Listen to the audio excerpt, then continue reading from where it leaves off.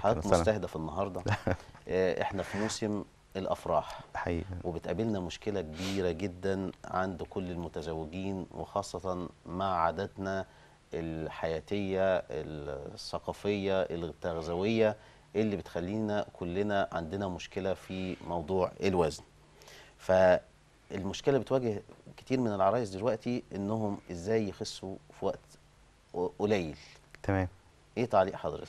آه، طبعا فترة فترة الصيف تبقى دايما فيها الأفراح أكتر فالأفراح والخطوبة والمناسبات وكمان تقديم للكليات العسكرية شرطة وحربية والحاجات طبعا دي بتتطلب آه، وزن معين وشكل معين.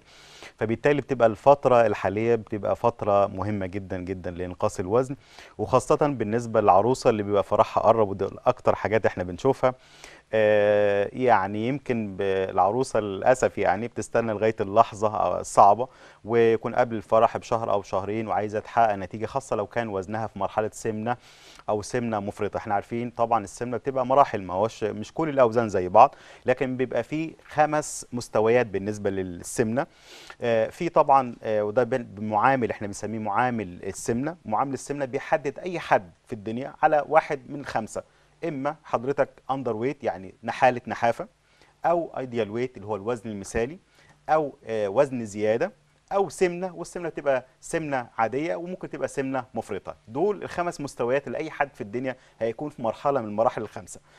فبالتالي العروسة على آه، اللي بيكون فرحها قرب بنشوف م- وزنها قد إيه والمفروض وزنها المثالي يكون قد إيه.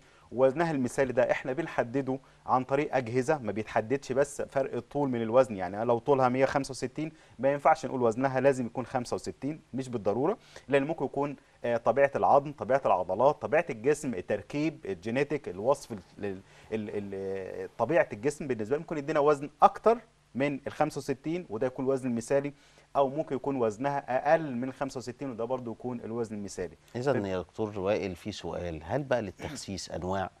تمام. وإيه أفضل الأنواع اللي بتتناسب مع كل نوع من اللي حضرتك قلت عليه؟ تمام.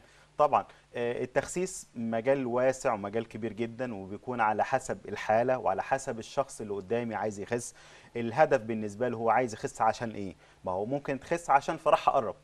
أو ممكن جاية تخس عشان عندها مشاكل في الظهر ممكن تخس عشان عندها مشاكل في الركب وممكن جاية تخس عشان دكتور قال لها دكتور النساء قال لها للأسف مفيش حمل أو مش هيحصل حمل وفي حالة عقم عشان في تكيس على المبايض كبير جدا ولازم وزنك ينزل عشان يبقى احتمالية الحمل تبتدي تزيد. فبالتالي دايما بيبقى هو نقطة البداية ونقطة النجاح الهدف. يعني أنت عايزة تخس ليه؟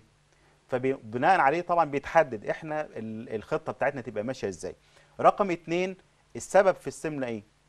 لأنه دايما أسباب السمنة بتبقى كتيرة جدا. هل السمنة مرتبطة بعادات غذائية غلط؟ هل مرتبطة بأكل أو نوعيات غذائية ما بتاخدهاش ممنوعات آه، آه، صحية وحاجات مهمة جدا بالنسبة للجسم ما بناخدهاش؟ أو بنحب نصرف في الحاجات اللي هي السلوكيات الغذائية الخاطئة؟ ولا الموضوع مرتبط بقلة الرياضة بناكل أكل صحي بس ما بنتحركش؟ ولا الموضوع مرتبط بناخد أدوية؟ من الأدوية بيبقى لها تأثير أحيانا هرمونات أو إن الجسم نفسه ما بيحرقش ال- بالظبط يا دكتور. فطبعا بيبقى بالنسبة لنا في مشكلة كبيرة. آه، آه، السبب الرئيسي لزياده الوزن هيكون إيه؟ وبالتالي علاجه هيكون إيه؟ فبالتالي مش كل. الحالات زي آه بعض. يعني. يعني هل اتباع بقى يعني نظام غذائي أفضل ولا إجراء العمليات؟ تمام. آه، دايما بالنسبة للاتباع العملية أو النظام الغذائي طبعا أي عملية بيبقى حل من الوسائل. يعني دايما بنقول السمنة موضوع كبير. أنت عايز حلول. في حلول جراحية وحلول غير جراحية. حلول غير جراحية حلول بالنظام الغذائي. حلول بالرياضة حلول بالأجهزة الموضعيه اللي بقت دلوقتي منتشرة وبقت أجهزة حديثة جدا وبتوصلنا للنتيجة المطلوبة. الحلول الأخرى هي الحلول الجراحية سواء تكميم آه، معدة سواء آه، بالون معدة سواء تغيير مسار الحاجات شفط دهون الحاجات دي كلها بيحددها آه، الحالة بالنسبة لنا هل أنت عندك استعداد إنك أنت تمشي على دايت وتقدري تمشي على دايت وتلتزمي وتحققي نتيجة كويسة. يبقى إحنا كده ما دخلناش في الموضوع الأصعب وهو موضوع العملية والتدخلات الجراحية اللي بيكون لها آثار لا شك طول الفترة ممكن الفترة ما بعد العملية المضاعفات ما بعد العملية دي كلها حاجات إحنا بنحطها في الحسبان. فبالتالي النسبة الأكبر بتتجه للوسائل الغير جراحية لإنقاص الوزن لأنه ده بيكون أكثر امنا.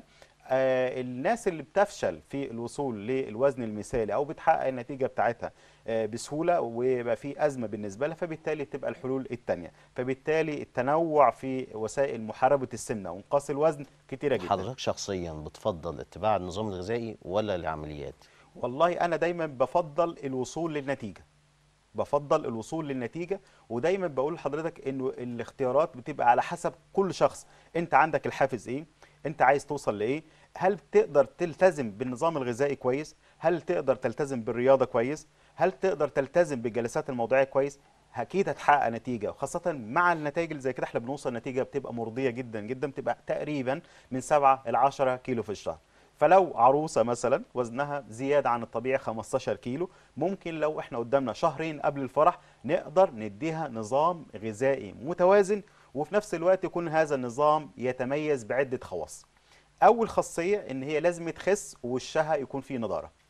أول خص... الخاصية الثانية لازم تخس وطاقتها البدنية تكون أفضل ولازم تخس ولازم طاقتها المعنوية والنفسية تكون أفضل لأنه في أغذية أو في بعض الرجيمات اللي إحنا الناس ممكن تمشي عليها عشوائي آه، ده بيوصلها لنتيجة اكتئاب سقوط الشعر إجهاد عام ضعف عام وده نتيجة الرجيم العشوائي.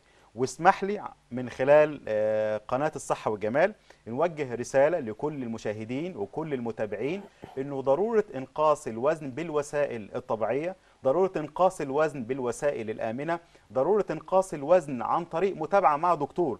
لازم الدكتور يكون متخصص في التغذية لازم يكون الدكتور على دراية بالأنظمة الغذائية المختلفة ودي اللي هتوصلنا النتيجة إن شاء الله سريعة مع الحفاظ على نضاره البشرة مع الحفاظ على آه، قوة الشعر ونعومته مع الحفاظ على الصحة العامة وبالتالي نقدر نخس وإحنا صحتنا تبقى أفضل وأحسن. لو خدنا دكتور وائل بعض النصائح الجميلة دي في دكتور أو طبيب خد قرار إنه محتاج يعمل آه، تخسيس عن طريق إجراء عمليات.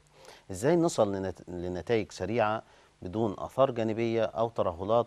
آه، وده باعتبار كمان زي ما حضرتك ما قلت إن العروسة بالذات بتحتاج تحافظ على نضارة جسمها وبشرتها. تمام.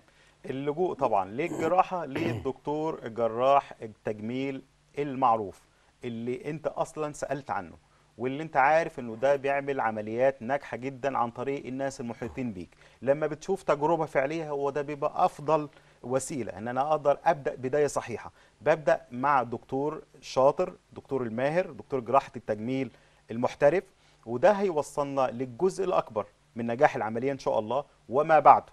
ما بعد العملية طبعا لازم هيكون في آه، آه، جزء مرتبط بالتغذية. لازم يعني ما هياش بس العملية اتعملت وخلاص لكن الدكتور الجراح دايما بيكمل معاه دكتور التغذية بيكمل معاه دكتور ال- اللي بيدي تعليمات للمريض إزاي ياكل نوعية الأكل اللي هياخدها إيه الكميات اللي هياخدها حتى بعد العملية تبقى إيه علشان نوصل لنتيجة كويسة وعلشان عناصر غذائية ممكن تنقص فالنظام الغذائي اللي بعد العملية يعوض الحاجات اللي ممكن تنقص. فبالتالي الموضوع متكامل يعني. وحضرتك بتتكلم بقى على النظام الغذائي وحضرتك كمان متخصص في العلاج الطبيعي والتغذية. تمام. آه، إيه النظام الغذائي اللي ممكن يتبع للعروسة قبل فترة الزواج ويحافظ على شعرها وبشرتها ونضارة آه، ال- ال- ال- الجسم بصورة عامة؟ تمام. آه، ليه ل- لو العروسة في حالة إنقاص للوزن يعني هي عايزة تنزل وزنها شوية على الأقل مثلا 10 كيلو قبل فستان الفرح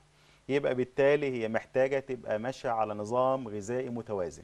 النظام الغذائي المتوازن يبدأ لازم بالحاجات اللي هي تبعد عنها الفترة اللي جاية خلال الشهر وتقلل منها. لازم تقلل من الحلويات والمقليات والمياه الغازية وال fast food والحاجات اللي بتبقى غنية بالدهون المشبعة. دي بتبقى الخطوة الأولى. لو هي عايزة توصل ل 10 كيلو خلال الشهر والفرح بالنسبة لها بتاعها قرب فبالتالي لازم تبطل كل الحاجات دي أو تقلل منها بنسبة كبيرة قوي الحاجة التانية بقى الحاجات اللي هناخدها.